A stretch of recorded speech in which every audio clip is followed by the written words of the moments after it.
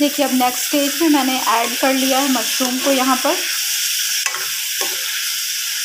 बहुत ज़्यादा ग्रेवी मैंने नहीं बनाई कि थोड़ा सा आ, सेमी ड्राई टाइप का रहे। सेमी वेट रहे ये सॉरी नॉट सेमी ड्राई और यहाँ मैंने थोड़ा कैप्सिकम जो है वो ऐड कर लिया है। सॉल्ट मैंने पहले ही ऐड कर लिया था।